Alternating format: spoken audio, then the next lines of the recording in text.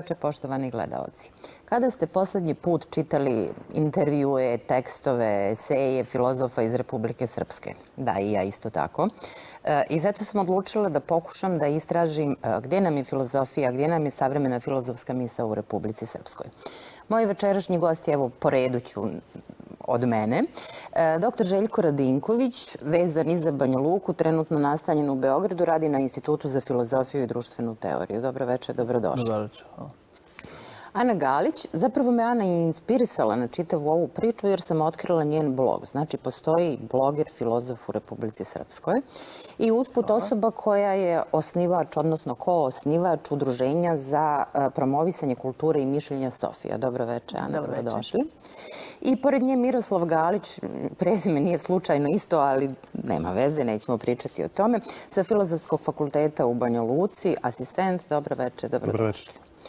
Evo ono što sam rekla na početku, da li postoji savremena filozofska misa u Republici Srpskoj, Ana? E, dobro večer svima. E, po meni lično naravno da postoji. E, filozofska misa u Republici Srpskoj jedino, znači na čemu ja insistiram, to je da ta misao se počne kretati i van akademskih krugova. Mhm.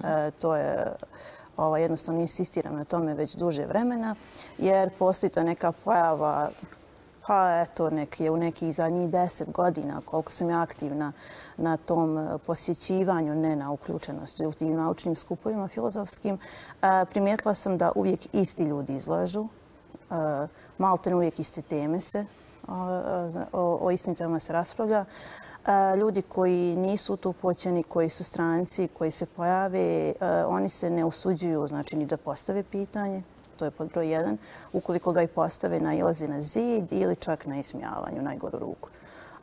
Tako da, znači, vrijeme bi bilo, znači, malo da se počne širiti to i da se i sami, znači, ljudi koji jesu akademski krugovima, malo da posveti pažnji pak tom izlasku, jer u pitanju na, na, u krajnjem, znači, riječ je o samoj filozofiji, ona bi trebala malo da cirkuliše kroz život više, a ne da se zatvara u te neke svoje sobičke, znači, ili učionice.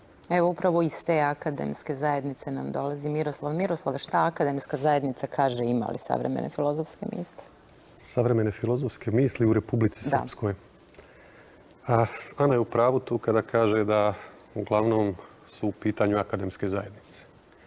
I kada je Republika Srpska u pitanju, mi imamo taj problem koji mori svaku malu zajednicu, a to je da veći centar koji je blizu u suštini i odlači ono što vrijedi i što može nešto da pokaže i samim time postaje misao te sredine. Pa recimo Željko je u Beogradu pronašao mjesto gdje može da se bavi onim što želi i mala zajednica je takva da e, za stvari kao što su filozofija, umjetnost i uopšte egzotičnije e, stvari nema toliko razumijevanja. Uvijek je u manjoj zajednici taj problem.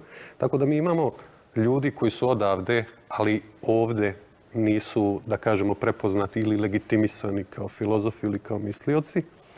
A kada govorimo o ljudima ovde, uglavnom se to svodi ili na akademsku produkciju. Naravno, tu možemo govoriti i o dobrim i o lošim stranama. Međutim, e, legitimacija filozofiranja uglavnom dolazi kroz to, dok oni koji se na svoj vlastiti način bave mišljenjem su uglavnom pojedinci, slabo povezani, koji pokušavaju da nešto svoje iskreno kažu, ali im ili s jedne strane nedostaje dovoljno filozofskog obrazovanja, pa onda ne umiju, ili s druge strane institucionalne podrške, pa a, ako nisu vezani uz instituciju, bivaju i neprepoznati. Tako da, rekao bih da ima nekih m, klica, ima ljudi koji jesu u stanju da misle, ali ako bismo govorili o filozofskoj sceni i o tome u Republici Srpskoj, onda bih rekao ne, nažalost, nemamo svoju autentičnu, zaista filozofsku scenu koja je prepoznata. A o ljudima koji bi to možda mogli biti ili napraviti je, naravno možemo razgovarati. Evo imamo primjer Željka koji je filozofski zanat pekao u Njemačkoj. Vi ste desete godina živjeli tamo, tamo ste završili filozofiju, magistrirali, doktorirali i vratili se ovdje. I šta ste zatekli u Banja Luci? Ja sam i slažem se sa Miroslavom i sa Anom. I samo da naglasim da nije Željko pronašao Beograd, nego su iz Beograda pronašli Željka, što nas vodi do, do odgovora na to pitanje šta sam zatekao u Banja Luci nakon e, pokušaja, na primjer, 2000, od, otprilike 2008. godine, dok sam još bio u Njemačkoj, dok sam završavao svoj doktorat, e, pokušao sam da napravim određeni transfer sa filozofskim fakultetom, odnosno odjeljenjem za filozofiju u Banja Luci. I to je bio moj primarni cilj. E, I imali smo određene uspjehe u transferu Stuttgart, Banja Luka, kasnije i Darmstadt, Banja Luka, koji je veoma obećavao, ali jednostavno ostalo je na toj epizodi zato što ne postoje, ne postoje naprosto strukture, ne postoje ljudi koji bi to prepoznali kao mogućnost da se napravi određeni kontinuitet, da se ovdje dovedu određeni projekti, određeni gosti, određeni ljudi koji bi sarađivali, koji bi naprosto i ovdje bili aktivni, na primjer gosti iz Njemačke, postoje određeni programi koji, koji, koji možete da, da dovedete koji finansiraju to da dovedete ovdje predavače koji će biti aktivni možda jedan semestar ili više. To su bili moji ciljevi i naprosto ostalo je na nekoj epizodi. Te aktivnosti su prepoznali ljudi sa Instituta za filozofiju i društvenu teoriju i sve što sam pokušavao u Banja Luci, oni su mi otvorili mogućnost da to uradim sa Beogradom. Okay, da li mislite da Banja Luka nema kritičnu masu ljudi koje to zanima? Mislim, da, tako je. Zato što je mala ili iz nekog uh, razloga? Postoji i taj faktor, naravno, ako već to poredimo sa Beogradom, naravno da u Beogradu postoji određena, da je to šira scena uh, sa mnogo više, mnogo izdiferencirana i tako dalje, ali ipak, ipak postoji dovoljno mogućnosti da se i ovdje naprave određeni projekt. Sada govorimo konkretno o filozofiji, ali to je moguće i u drugim oblastima. Kažem da se otvore određeni programi, postoje, postoje određene kanali i mogućnosti da se ljudima finansiraju boravci u inostranstvu, da se da, da poprave neke svoje i znanja jezika, na primjer. To je već ogromna stvar. Da vide način na koji drugi ljudi rade, na koji instituti koji, koji rade na, na višem nivou, na koji način oni funkcionišu, na koji način tamo predavači funkcionišu, pa da jedan dio toga ovdje e, implementiraju. Nažalost, nisam, uspio sam samo djelomično u, u toj namjeri u Beogradu imam uh, potpuno otvorene ruke da, da to nešto uradim. Iako smo mi samo istraživački institut, ali imam sasvim otvorene ruke da, da, da radim u tom smjeru koliko hoću i što hoću. Znači, informacija da nema para nije uh, ključna informacija. Nije. Država ne daje ne. pare ni u Beogradu, odnosno ne. da je minimalna sredstva, da, ali postoje načini da se novac pronađe u raznim evropskim fondovima i da se radi. Da, obično su ti da, da završim sa tom pričom, obično su ti e, programi ovdje pod izvjesnom lupom kao oni e, traže izvjesne političke ustupke ili od, od, e, ovdje plasira određeni pogled na svijet ili određene političke stavove. To je djelimično tačno, ali ne u potpunosti. Dakle, mm -hmm na sličan način radimo i u Beogradu i, i niko nas ne uslovljava. To je ona čuvena rupa na saksiji. dakle, ne postoji to. Dakle, slobodni smo da radimo što hoćemo i kako hoćemo. I to je moguće i ovdje. I treba da se uradi i ovdje. Da. Evo, eh, Ana i Miroslav su ostali u Banja Luci. Ana, vi ste diplomirani filozof i trenutno nigdje ne radite, je li tako? Mm, da, trenutno sam nezaposlena. Uh, krenuli ste od bloga i onda ste napravili udruženje. Šta to zapravo znači u praksi? Uh, u praksi uh, blog i ajde udruženje, recimo, nije to neka utročno-posljedična veza, nije u tom smislu. Ali je vaš pokušaj da nešto što se tiče filozofije učinite javnim? Da, to je definitivno.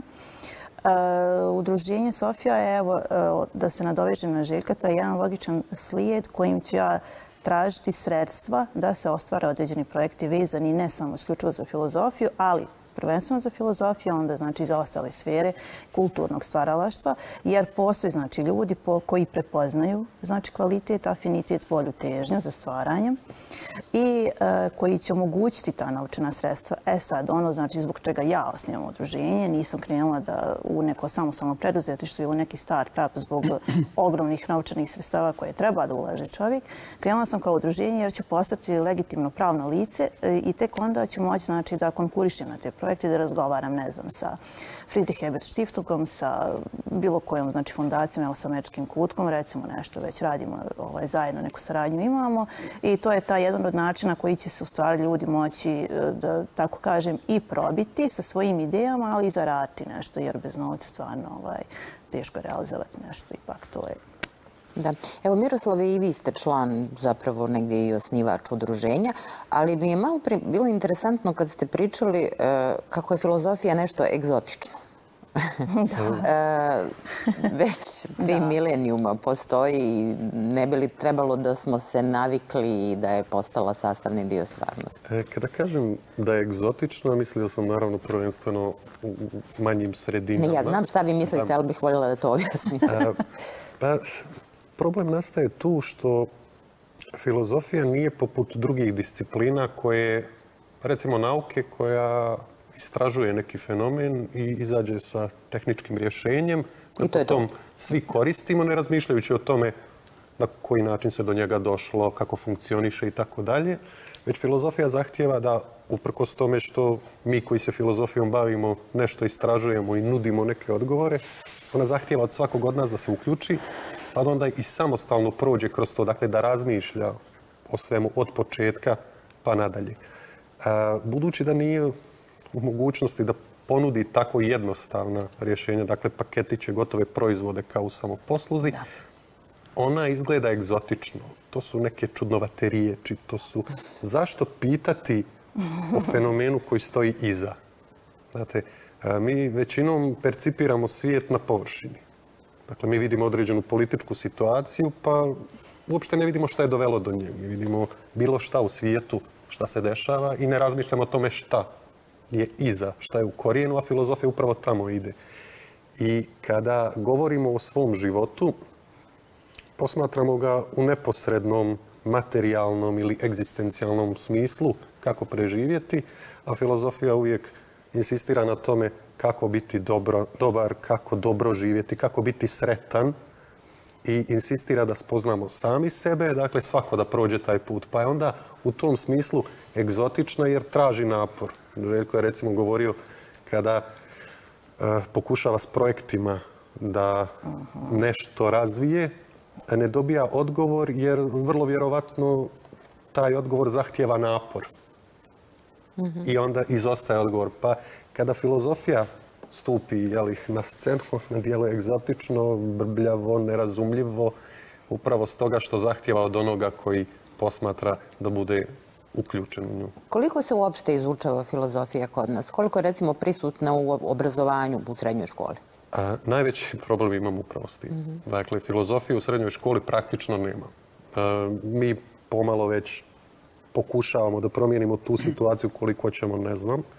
Ali podaci su da filozofiju imate u gimnazijama, u jednom razredu logiku, u drugom e, istoriju filozofije, to je treći i četvrti razred, jedno polugodište u ekonomskoj školi i čini mi se da ima etika u medicinskom, medicinskoj također jedno polugodište i to je to. Većina onih koji nama dolaze da studiraju filozofiju uglavnom se nisu sretali. Da, i dolazi ih veoma malo. Vi ste, koliko znam, ove godine upisali 10 studenta, istočno Sarajevo jednog ili nijednog. Ja, Tako? čini mi se, da.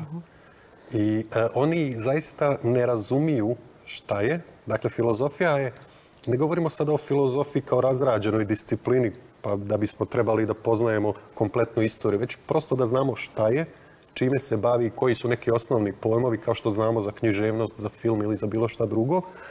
E, takvo takva spozna izostaje. Srećemo se sa situacijama da neko kaže, vi ste filozof kada razgovaram, pa ne djelujete tako strašno ili čudnovato, mislim. Ovaj, e, ljudi se čak i plaše tog kao to je nešto što je baš, baš strašno i zahtjevno ili je s druge strane, budući da je u tržišnom smislu neproduktivno, ona je produktivna, ali nije tržišna, pa je onda besmislena ili jednostavno ne treba nam ta isto moment mnogo, mnogo, ne samo kod nas, mnogo utiče na status filozofije, njenu percepciju, pa i način na koji se pojedini, čak i filozofi njome bave. Dobro, evo mi sve vrijeme negdje govorimo o tome čemu filozofija danas. Željko, kako to ozbiljne zemlje reše? Kako je, recimo, kakav je doživljaj filozofije u Njemačkoj?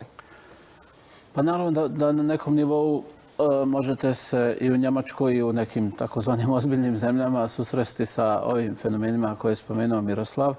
Ali ono, kada govorimo o, o institucionalnom nivou na kome se ovaj, e, bavimo filozofijom, to znači na odjeljenjima za filozofiju, nastave, na institutima, e, u moderni instituti, instituti našeg doba pokušavaju da, da filozofiju uključe u neke moderne tokove, mm -hmm. da uđu u neke savjetodavne funkcije, e, na primjer u području filozofije tehnike, kojim su se intenzivno bavili u Stuttgartu i, i, i naše kolege recimo i u, u, u Karlsruheu sa kojima trenutno radimo, sarađujemo. Oni e, su uključeni u određene komisije koji savjetuju Njemački Bundestag, dakle njihov parlament u pogledu na primjenu određenih ili razvoj određenih tehnologija i tako dalje. Naprimjer, to je kao jedan primjer. Naravno, to je, s druge strane, možemo da kritikujemo takav pristup, e, pa da kažemo, to je prilagođavanje, neko neadekvatno prilagođavanje e, koje nije adekvatno filozofskom pristupu, koje, koje korumpira filozofsku misao, jer je uključuje u interese nekih drugih sfera, na primjer razvoja tehnologije i tako dalje. Međutim, e, s obzirom da sam bio uključen u te projekte, dok sam studirao u Njemačkoj kao student, saradnik ili doktorant, e, mislim da je to sasvim pogrešna percepcija i da, i da su ti projekti i te kako i te kako dobri za ovaj e, i filozofsku misao jer omogućavaju i filozofima da se susretnu sa određenim drugim iskustvima na primjer u tom području filozofije tehnike da komuniciraju sa ljudima sa drugih instituta koji razvijaju te tehnologije i da se razvije određeni dijalog. Dakle, filozofija nije ono što je prije bila na institucionalnom nivou i to nije tragedija, nego jednostavno od toga treba da napravimo jednu dobru stvar i postoje mogućnosti na koji, se, na koji način se to radi i na koji način se to uspješno radi. Dakle, to je...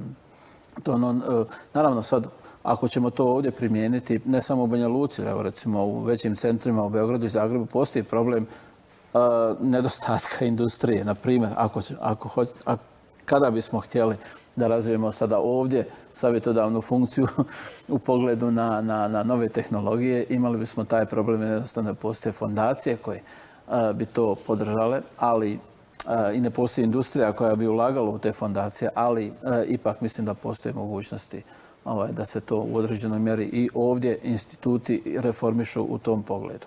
A da se ne izgubi taj osnovni filozofski pristup, taj e, kontraintuitivni i kontrafaktički, što se gleda. Dakle, da ne jurimo za, za potvrđivanje nečeg što jeste, nego da proispitujemo šta je iza toga, e, koji su uslovi mogućnosti e, nečega, fenomena i tako dalje. Pa evo, ako je i po čemu 21. vijek drugačiji od prethodnih vremena, to je miješanje različitih disciplina. Ja nekako imam osjećaj i u umjetnosti i u kulturi u najšire mogućem smislu da više prosto ne postoji bavljenje samo jednim nečim i držanje tog nečega u kuli od slonovače, što bi rekli pjesnici. Te je tako i s filozofijom. Šta je uopšte savremena filozofija koja ima smisla, koja ima uticaja?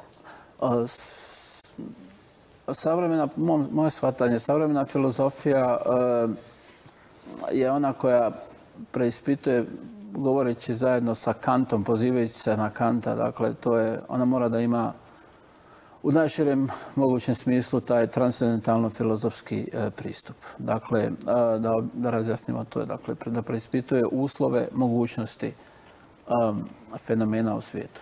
Dakle, koji su uslovi mogućnosti uh, E, naučnog, nečega što zovemo na predmet nauke, koji su uslovi mogućnosti umjetnosti, koji su umjetničkih jeli, fenomena i tako dalje i tako dalje, koji su uslovi mogućnosti etičkog odnošenja prema svijetu i tako tako dalje. Dakle, da ne, e, da ne razmišlja o direktno o samoj e, realnosti na taj e, na smisao predkritičke filozofije da traže suštine stvari same, nego da razmišlja koji su recimo logički preduslovi da uopšte možemo da razmišljamo na taj i taj način. Dakle, to je onaj moderni zaokret koji je napravio Kant i mislim da je to u stvari zlatno pravilo koje možemo da variramo, da širimo na određene načine, kao što je to recimo radila filozofija 19. i 20. vijeka, recimo hermeneutika, fenomenologija, koja je taj, e, tu postavku pitanja naširila na, na, na, na jedan novi način, ali je nikad nije napustila. Dakle, nikad se nije vratila na taj predkritički moment. Dakle, u toliko e, to treba da bude e, nit vodilja e, savremene filozofije i naravno ovo što sam rekao, otvorenost, interdisciplinarnost, ali u smislu ne usiljene interdisciplinarnosti zato što je to eto, jer, uh, negdje postoji da. nekakav ideološki predlošak koji kaže da, da treba da budemo sve interdisciplinarni, nego jednostavno zato na određen način na koji to ovaj, je na određen produktivan način da bude otvorena prema interdisciplinarnosti. E, Ana, Vi ste donedavno radili u Banja Lučkoj gimnaziji, predavali ste filozofiju srednjoškolcima. Mhm. Šta se njih uči u školi i šta oni uopšte znaju? Sa kakvim znanjem izađu? Pa onoliko koliko dopušta nastavni plan i program. E, znači, to je... Da li je nastavni plan i program isključivo istorija filozofije? Više ne postoji istorija filozofije. Sada postoji u stvari filozofija i za treće i za četiri razrede, zvanično. Dobro. Međutim, u trećima to je razredima ipak je riječ o logici. O logici, uvođenju, znači u stvari u način mišljenja.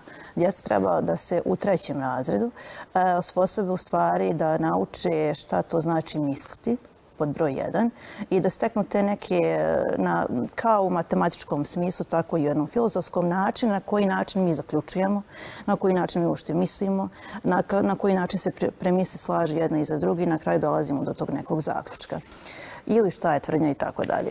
To, to su jedne onako po meni jako lijepe znači, teme što djece trebaju da se osposobe da prime. E, to je za treći razred, a za četvrti je opet, to je ono što je nekad bila istorija filozofije, znači klasika, od antičke filozofije i presokratovaca pa do moderne, oni prolaze sve. E sad, u, u skladu znači, sa nasnim planom i programom, i naravno i sa metodikom filozofije, namjenjene za filozofiju, djeca treba da znači to je po savjetu, znači naj tih e, relevantnih stručnjaka, znači svijet filozofije, djeca ne bi trebala da nauče apsolutno sve od Adoša, već e, ono što je bitnije u istoriji filozofije, to je pod broj jedan, nek barataju znači sa činjenicama, a pod broj dva ipak da se osposobe da sami misle, da sami mogu da posumnjaju neke stvari, da sami donose zaključke i da sami iskritikuju nešto. Znači, na jedan taj filozofski argumentovan način. Ukoliko znači, se oni osposobe da do kraja znači, svog školovanja e, u srednjoj školi sami napišu jedan filozofski esej, jako kratak, recimo 250 riječi, sa tim nekim argumentima, odnosno sa bar par citata, bio to Platon, Descartes ili neko slično, oni su uspjeli. To bi trebalo da bude znači, krajnji ishod. A da li jeste? Pa ja nisam došla do otle da bi sad rekla. Ja se nadam da jesu. Pošto evo ja sam završila gimnaziju, upisala filozofiju. Moja kolegica isto tako, ona je u Banja Lud završila i upisala, tako da ima, znači, ima primjera. E, ko su djeca koja dolaze da studiraju filozofiju? E, kada govorimo o gimnaziji, posljednjih godina najmanje je gimnazijalaca. No, oni znaju šta je to, pa ne dolaze. Oni znaju, da. A, ovaj, uglavnom su to učenici iz tehničkih i drugih škola. Ja sam sam, nisam gimnazijalac, ja sam iz medicinske škole došao na filozofiju. I uglavnom su to, sudeći prema godištima, budući da polovina je ono godište koje treba da upiše, a druga polovina su stariji.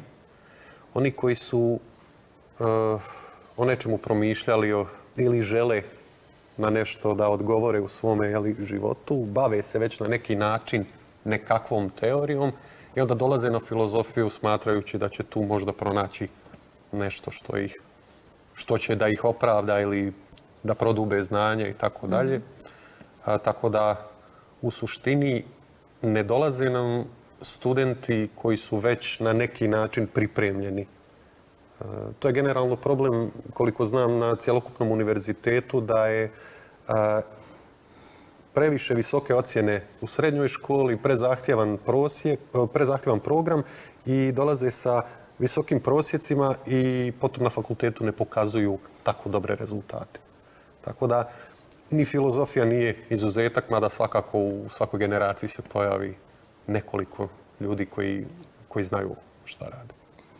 Kako bi trebalo da izgleda, piše, ponaša se, ne mislim izgleda fizički izglede, nego kakav da bude savremeni filozof, da bi on imao bilo kakav uticaj? Željko, da li je to angažovani filozof?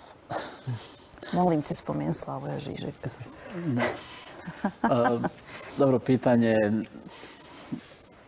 angažovanog intelektualca. Dakle, opet ću se vratiti na aktivnosti, e, naše aktivnosti na Institutu za filozofiju i društvenu teoriju u Beogradu u kojem postoji, koji smo mi djelomično institucionalizovali taj, taj mhm. vid e, taj, tu problematiku stvarajući grupu za studije e, angažovanosti u kojoj se, kanališu takva pitanja, takvi projekti o kojima se, kojima se bavimo tom problematikom moj stav je eh, da, da eh, intelektualac može da bude angažovan u smislu aktivizma. Da li treba, to je sad eh, otvoreno pitanje. U svakom slučaju, on bi trebao, trebao da prati svoj, svoju vrstu angažmana ili vrstu tuđeg angažmana ili aktivizma kvalitetnim kritičkim uh, pristupom, odnosno kvalitetnom uh, kritičkom, e, kritičkim filozofskim pristupom, dakle kritikom te, te vrste angažmana. A, promišljajući uslove angažovanosti, promišljajući uopšte terminologiju koja se, a, kojim se artikulišu određeni a, vidovi angažmana ili se identifikuju određeni radnje kao angažovane radnje um, i u tom smislu. Dakle, da, da na, na određenom teoretskom nivou promišlja taj vid. Naprimjer, to u većem dijelu uspjevamo, na primjer, u okviru ovih naših aktivnosti. Um, a sad, uh, mislim da, da sama, sam, to je jedan veoma širok pojam angažovanosti. Dakle, e, trenutno se borimo sa tom terminologijom, da li je već sama egzistencija, angažman ili, post, ili su određene vidove egzistencije, angažovana egzistencija ili kako, kako ovaj, prije svega identifikovati socijalne činove kao a, a, angažovane činove. Dakle, to sada problem isto i socijalne antologije. Postoje razni koncepti kojima se sad trenutno bavimo uh, i mislim da treba u naravno vrijeme očekivati određene i rezultate u tom pogledu.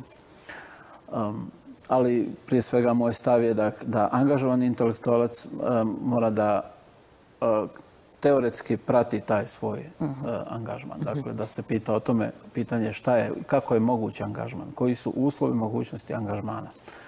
Da, ali evo, uh, ono što radi vaš institut između ostalog je organizacija različitih skupova gdje dovodite filozofe iz cijelog svijeta, mislioce različitih profila, evo da ne koristim samo riječ filozofe. I najviše pažnje privlače oni koji su društveno najangažovaniji, je li tako? Da, dobro, ako prije svega, naravno, na primjer, ako mislite na Judith Butler koja je bila prije 2015. godine gostovala u Beogradu, odnosno u organizaciji našeg instituta, da, ona je privukla kao angažovan intelektualac i kao predstavnik određene, određenog teoretskog pristupa i određenog političkog stava i određenog društvenog stava, naravno da je privukla velič, veliku pažnju.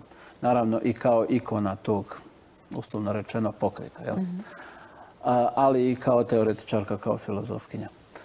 Um, naravno, e, ono što ljudi koje mi pozivamo i koji dolaze tamo i, i a, koji tako reći, vrše određeni uticaj, oni se angažuju na određen način. Naprimjer, ako mi dovedemo a, u Banja Luku ljude koji predaju na jedan određen drugi način, na, na, ne osporavajući neke kvalitete ljudi koji predaju ovdje u Banja Luce, ali jednostavno na određen drugi način, koji donose nove teme, novi način e, izlaganja, novi način razgovora sa, sa studentima, to je već određeni pomak. I u, u izvjesnom smislu mi smo angažovani ako našim studentima ili publici filozofskoj u našem gradu e, ili ovdje u regionu omogućimo da vide neke druge sadržaje. Mi smo se u tom smislu i angažovali kao mhm.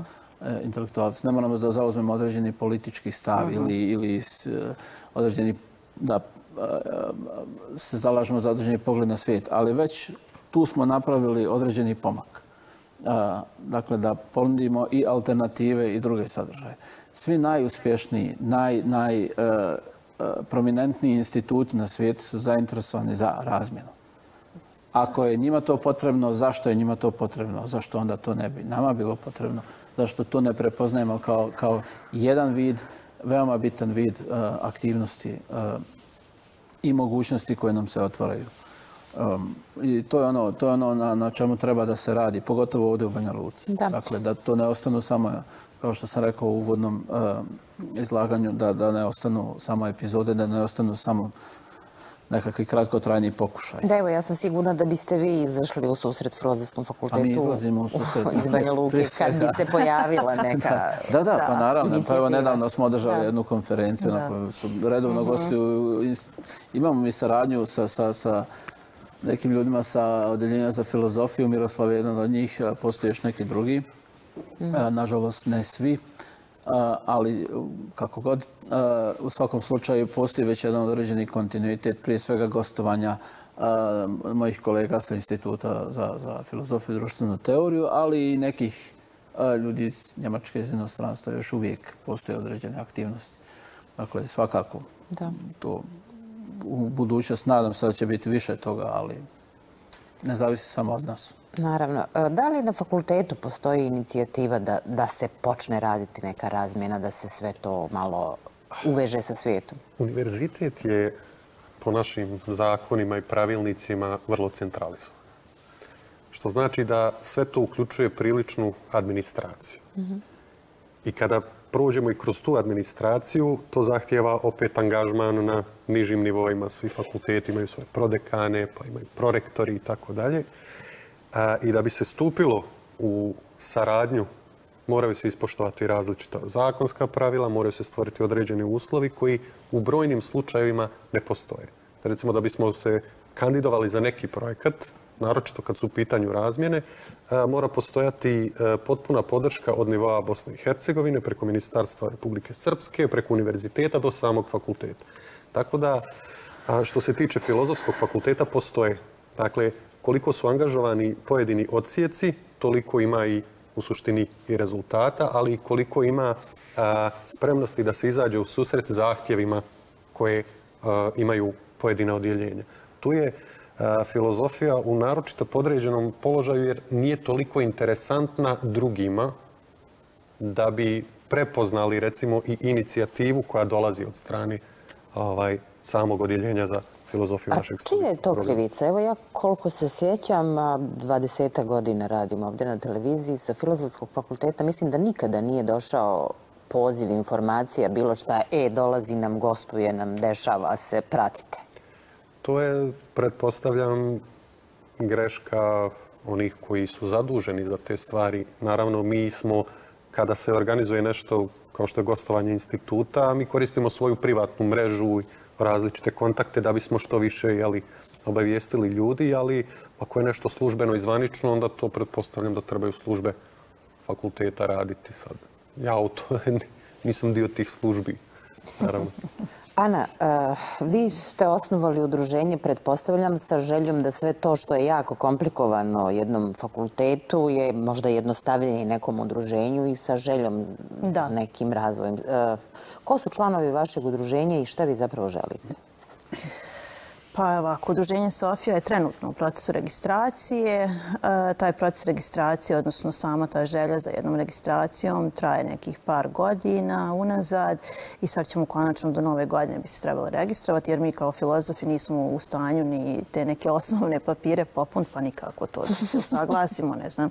Ja sam na kraju rekla ovaj, gospođi Tanje, rekla sam, molim vas, mi kao filozofi, stvarno, ta papirologija, ne znam kako ne ide, jednostavno, ako može se riješiti nekako da to da se, da se ubrza. Evo, ako osnivači smo, znači ja, ovaj, inicijator sam glavni i obično ovaj, ljudima izasmita ta moja energija jer stvarno upirim nevjerovatno da bi se nešto ostvarilo po tom pitanju. Onda tu je moj muž i najmlađi član i kolega e, Danilo Topić koji je trenutno u gimnaziji i ovaj, ovom prilikom željela bih da e, promovišem prvu njegovu knjigu, odnosno roman devet smrti Maldororovih i to je, ovaj, evo da pokažem se, ne znam tačno pred kojom kamerom, ovaj, to je udruženje ovaj, znači Sofija eh, podržalo eh, zajedno sa Miodragom Živanovićem, on je naš počasni član. Miodrag Živanović, profesor sa fakulteta, za njega su vjerovatno ovaj, mnogi e, i čuli. Ovaj, znači, naš četvro je pokrenulo tu priču. E, dalje, priključili su se, znači, svi koji su, za koje smo mi prepoznali, znači, taj neki afinitet, kvalitet, to je kolega ovaj, sa o, Srpskog jezika književnosti iz Novog Sada, Trivun Kalaba, onda naše kolegice novinarke, e, to su Dejana Bratić, Brankica Smiljanić. Dobro, to su sve mladi ljudi, mlađi, za koje mi još ljudi nismo čuli, još niko nije ali čuli. mladi ljudi s ambicijom da učine šta? Eh, da nešto učine po svom pozivu, koji zaista imaju želju, koji imaju šta da kažu u ovom svijetu, imaju šta da ponude i samo im je potrebna šansa. Mi smo tu, znači, da im pružimo tu šansu, da zajedno dođemo, da sami sebi stvorimo tu šansu. Šta mislite da treba uraditi ovdje da bi se ta šansa ukazala? Raditi treba raditi, ne treba odustajati, pokucati na sva vrata. Ako pokucamo na deset, jedna će se otvoriti sigurno i samo raditi, biti uporan vjerovati u sebe i držati se svog poziva. Ukoliko se ti baviš sa nečim jer zaista želiš da se s tim baviš, ne želiš da mataraš e, diplomu kao samo papirom koji će ti kupiti prašinu, onda je to to. Na kraju će znači, doći ovaj, na svoje, svaka tvoja težnja, e, tvoj napisan tekst ili nešto slično, čime se baviš. E, kad se govori o razmjeni sa svetom, razmjeni misli sa svetom, uvijek stižemo do jezika. Koliko je moguće izaći iz vlastitog jezika u drugi jezik i baviti se nečim kao što je filozofija, Željko?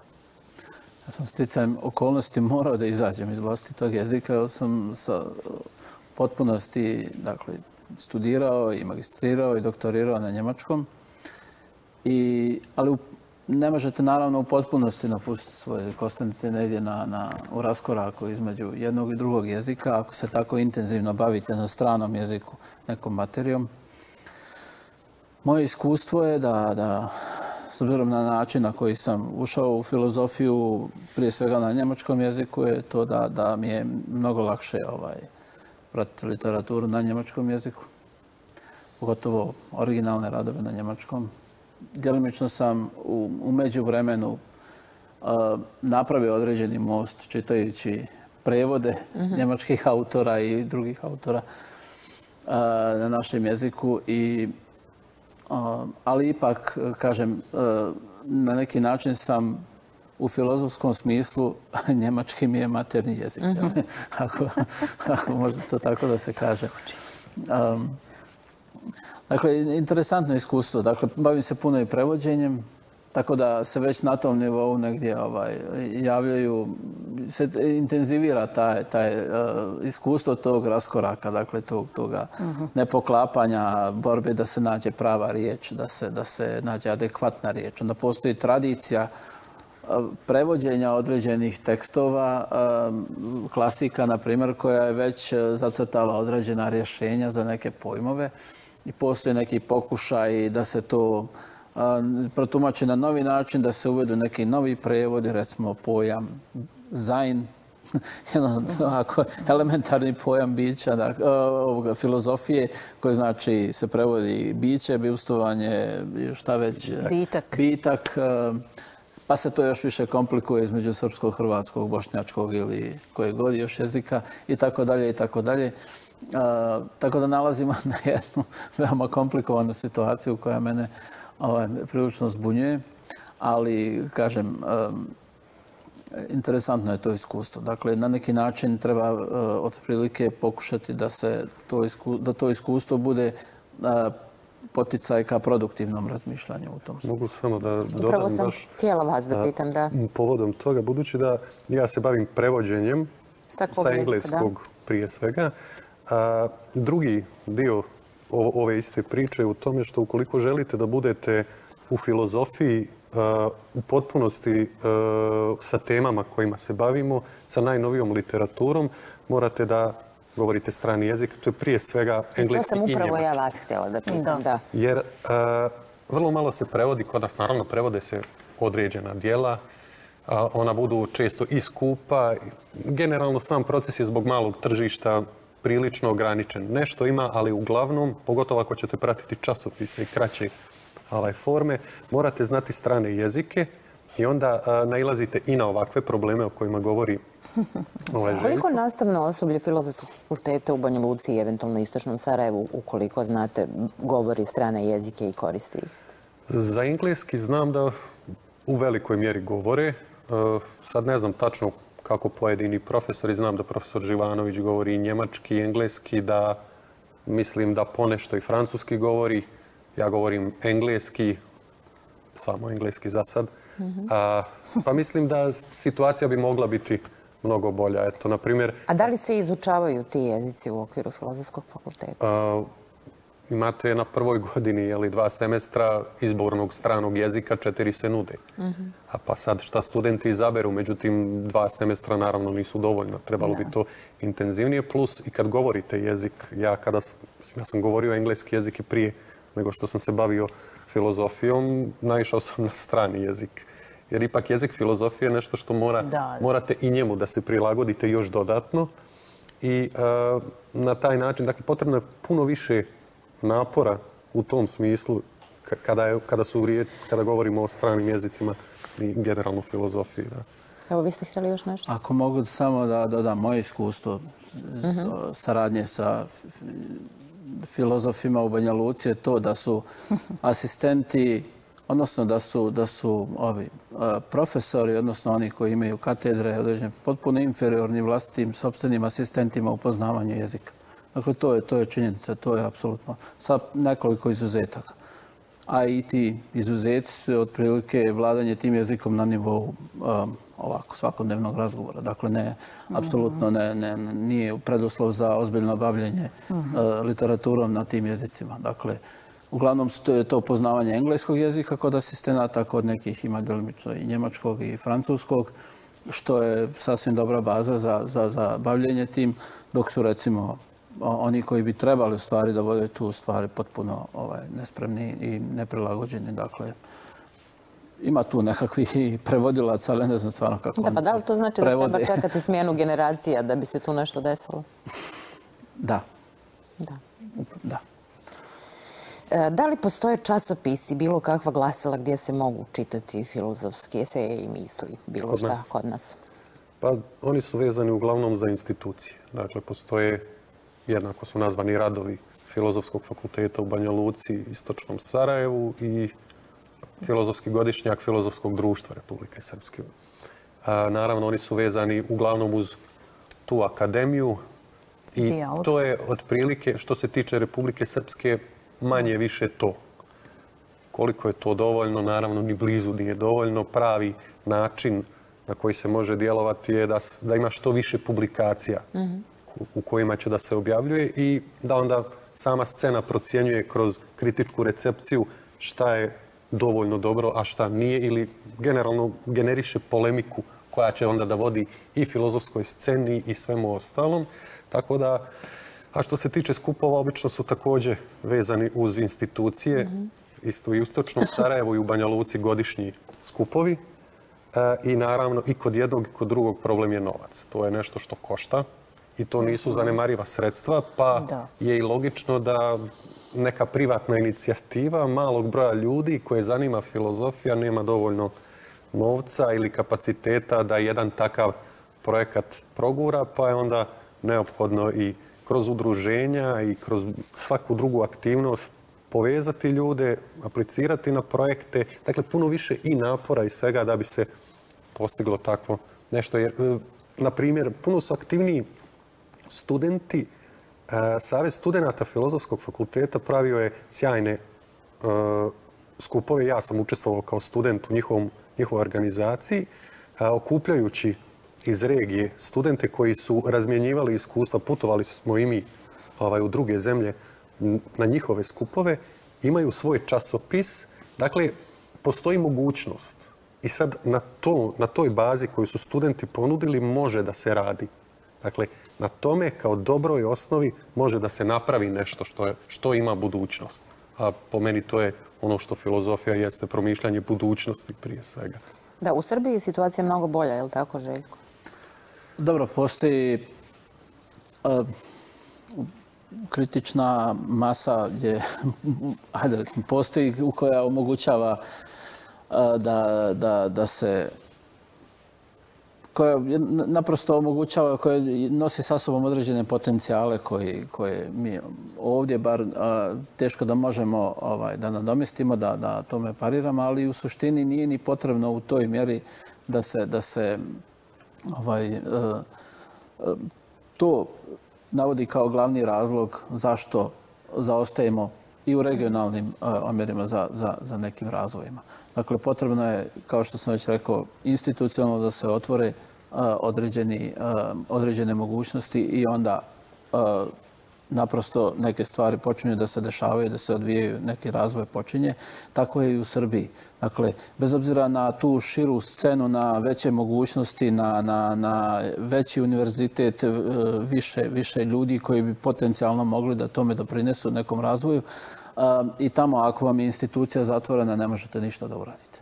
Ako vam je institut zatvoren i ako taj institut vode neki ljudi koji naprosto ne, ne, idu, ne rade u tom, u tom pravcu da se taj institut otvara internacionalizi i tako dalje. Vi ništa, ništa ne možete Da, ali evo, taj institut jeste otvoren. On jeste zahvaljujući prije svega jednom čovjeku, novom direktoru, koji je otpočeo svoj rad 2011.